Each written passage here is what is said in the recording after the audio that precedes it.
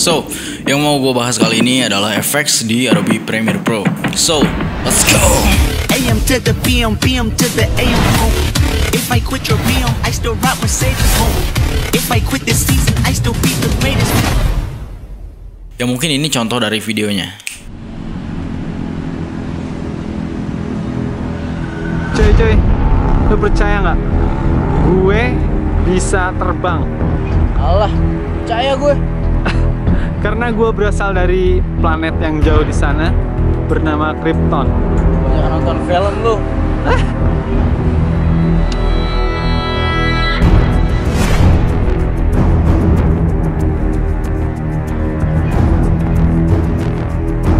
Gue lupa di video kemarin.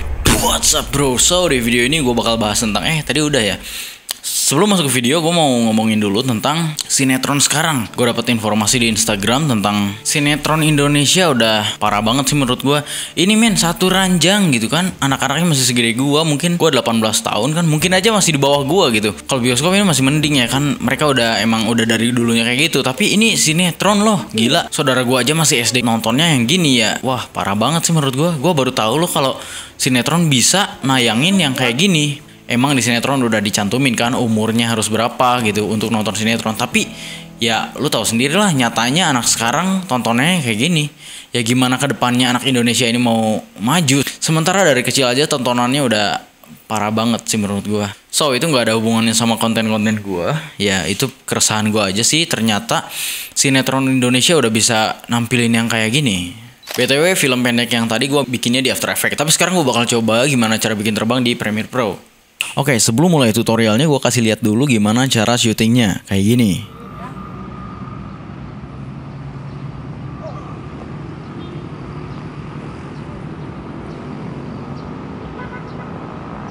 Nah, kalau misalnya lu udah tahu syutingnya gimana, kita langsung aja ke editing. Drag aja videonya misalnya ini ke Adobe Premiere Pro. Terus pilih di mana awal videonya. Pilih di mana lu emang mulai actionnya gitu kan. Nah, dari sini sampai misalnya ini sampai sini misalnya. Ya nah terus langsung aja drag ke timeline. Kalau misalnya pengen sama audionya juga lu tinggal drag aja audionya. Tapi ya kita kan mau bahas efeknya jadi gua langsung aja di videonya. So misalnya syutingnya tadi kan udah gua kasih tahu kayak gini loncat. Terus langsung nyingkir dari kamera gitu. Nah di sini kita cari aja sampai di mana dia loncat terus kakinya masih nginjek ke tanah. Ini kan udah udah di atas nih. Kita cari sampai kakinya nah masih kayak gini terus pencet C eh atau pergi aja ke sini. Razor tool terus potong. Terus ke selection lagi. Nah ini alt dan klik drag ke atas. Jadi dua kayak gini. Nah yang ini kita klik kanan dulu terus add frame hold. Terus ya ini simpen dulu sini lah. Anggap dulu belum ada gitu. Simpan aja di sana lah biar nggak pusing gitu. Di sini kita cari aja sampai si orang yang mau terbang ini hilang dari layar. Kita kan suruh pergi dia dari kamera gitu kan sampai keluar frame. Nah, di sini kita cut aja pakai razor juga. Klik aja, klik di sini. Terus kita hapus yang tengahnya, terus drag ke sini. Sampai kayak gini ya. Nah, di sini kita lihat langsung hilang. Boom. Nah, kalau udah kayak gitu kita pakai yang frame hold yang tadi, yang kita simpen di kanan tadi. Nah, di sini pasin sama footage yang di bawah yang tadi hilang kan. Nah, ini kan tadi udah di frame hold nih. Frame hold ini artinya di freeze gitu. Jadi videonya jadi foto gitu, di screenshot lah anggap. Nah, kita harus potong dulu subjek yang ini. Caranya pergi ke effect control. Di sini ada opacity. Di sini ada mask ya. Kalau nggak salah di CS di Adobe versi CS belum ada. Jadi usahain lo update lah. Oke. Sekarang kita zoom aja biar nggak nggak pusing ya di 200. Nah, di sini ada mask, klik aja. Terus kita potong dari awal. I, dari dari sini ya. Terus kita potong dari awal, misalnya pengen dari kaki dulu ya bebas ya. Potong semuanya kayak gini. Gak usah rapi-rapi banget sih sebenarnya. Yang penting ke potong bagian subjeknya semuanya. Nah kalau misalnya udah pasti ada otomatis fader di sini. Kita kecilin aja sampai nol ya ini ya. Fader ini ya kecilin sampai nol. Nah kita lihat lagi di 100. Ini footage yang atas ini kita tambah transform. Tapi sebelum itu kita nest dulu aja. Nah kalau udah di nest kita tambahin transform. Kalau nggak ada tulis aja di sini transform di video effects, di store dan transform. Drag aja di nested sequence yang tadi. Nah, terbangnya kita mulai dari sini. Misalnya ini dari awalnya kan, ini awalnya dia mau mau lepas ke langit gitu. Klik posisinya di sini keyframe-nya. Terus majuin beberapa kalau misalnya pusing ini kecilin dulu. Nah, dari sini kan diklik nih tadi. Terus majuin beberapa.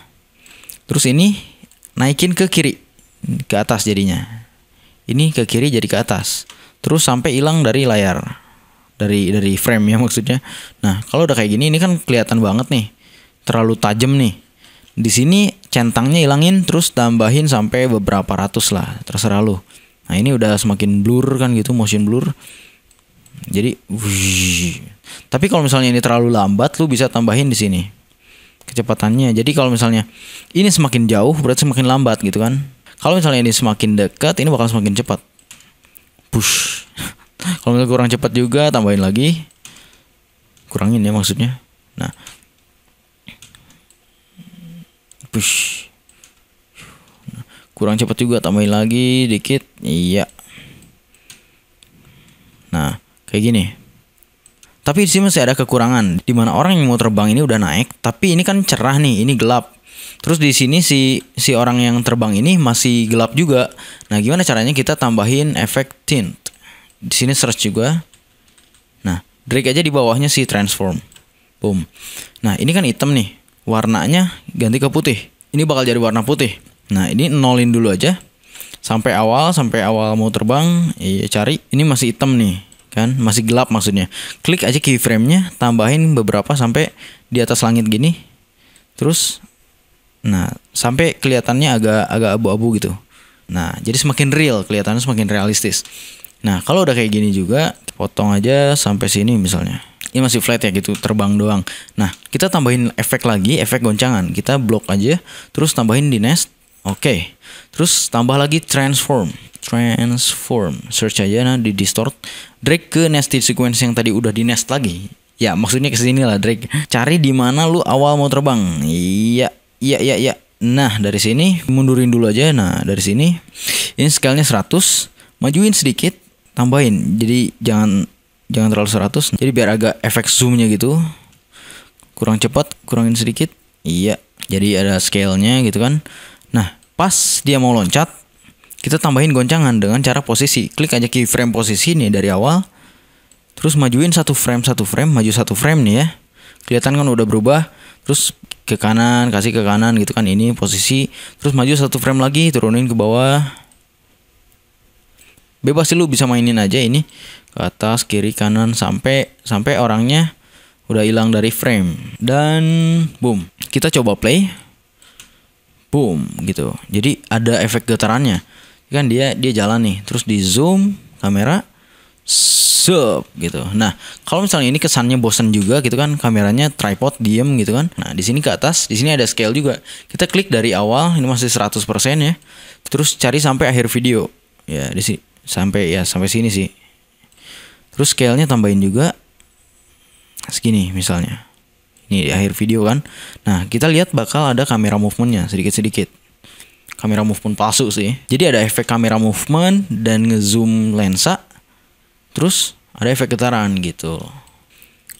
Oke, jadi sebenarnya teorinya simpel banget sama aja kayak di After Effects, tapi efek di Premiere Pro-nya yang kita pakai agak sedikit beda gitu. Tapi hasilnya nggak jauh beda sih.